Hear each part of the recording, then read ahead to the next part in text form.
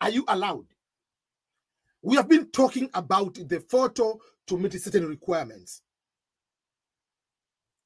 But if you go to the diversity visa lottery instructions, it is clearly stating that this is from the official Department of State, from the instructions for the diversity visa lottery, that use of a photo taken within the last six months, don't use, don't use the photo which has been taken longer than that. It has to be within six months. That's number one. Obviously, they're not going to know if you are taking the long old old photo, but don't do that. Do not reuse photos from the previous entries, or you'll be disqualified. Don't use the photo you used from the last year's DV lottery application. That is part of the DV lottery instructions. If you do that, you are going to put yourself into the harm's way.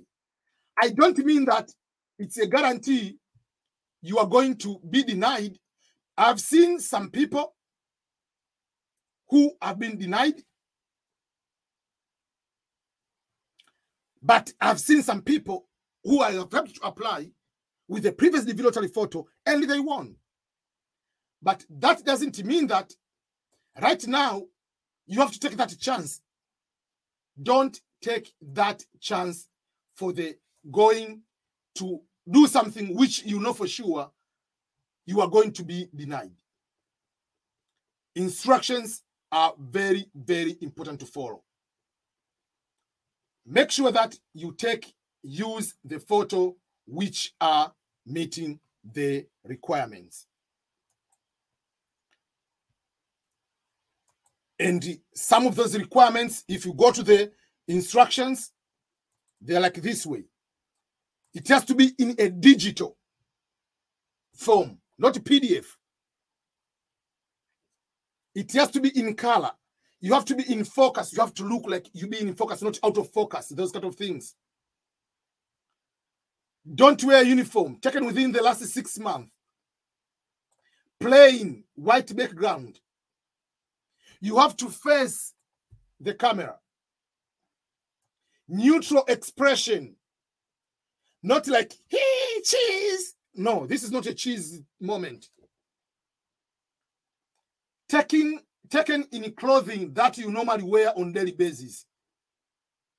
Meaning, don't start like, oh, I have to wear tie, suit. Like, I, I mean, if you wear basis, it's okay, but it's not, they're not going to do that way, wherever. Don't wear the uniform unless otherwise is part of something you wear on daily basis as a religious reason, not as just for work purposes. Don't wear hat, don't whatever, those kind of things.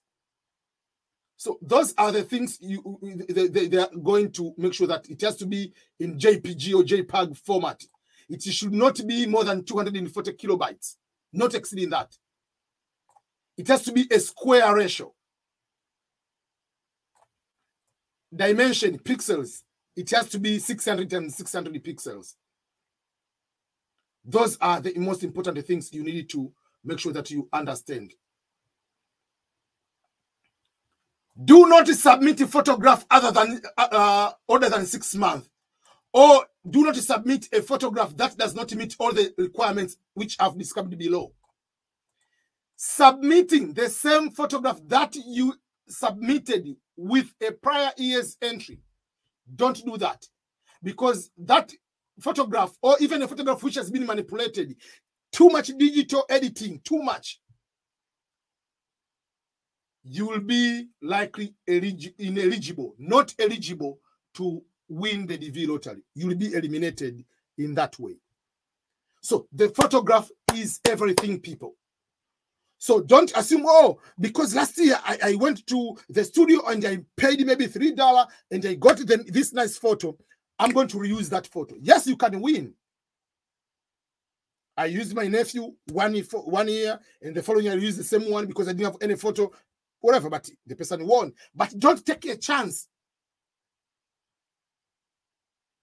Don't go to take unnecessary chances, which you are likely to be eliminated in that way.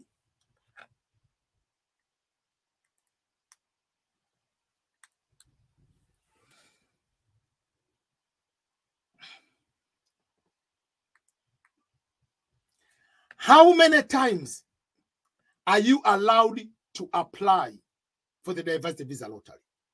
How many entries are you allowed to submit?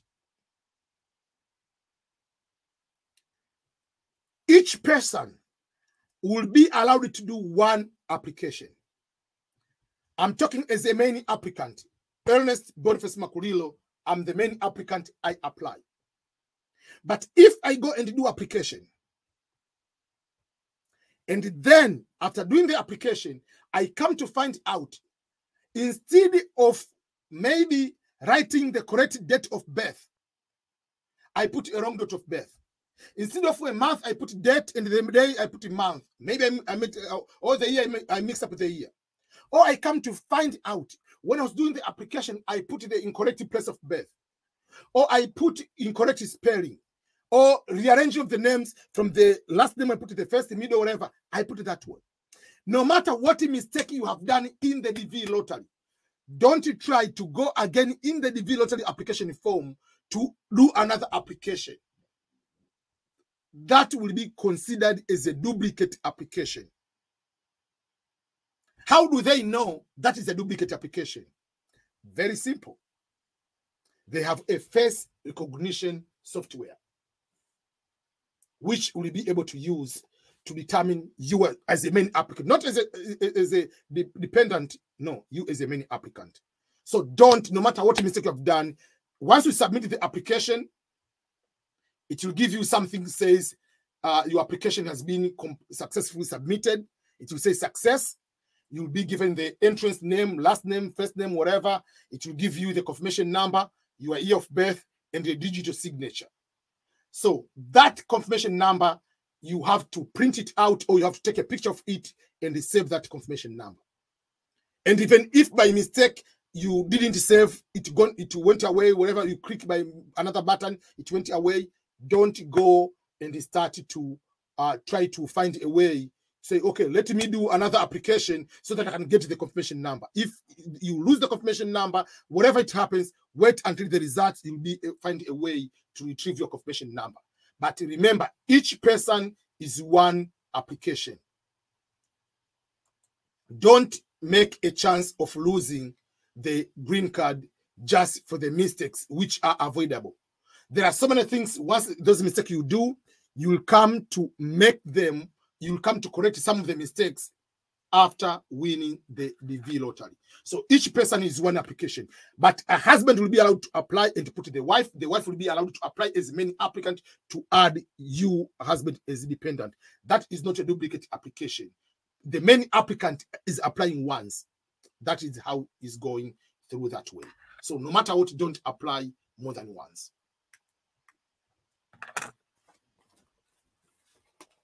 So those are some of the things to pay attention to.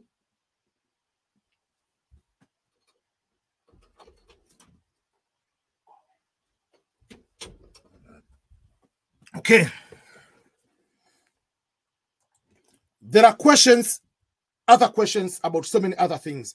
I'm not going to start responding to some of your comments yet because I have so much questions. I want to cover these questions first and then I'll go to your questions and I'll be able to, to answer them. Okay, let's go to another important question.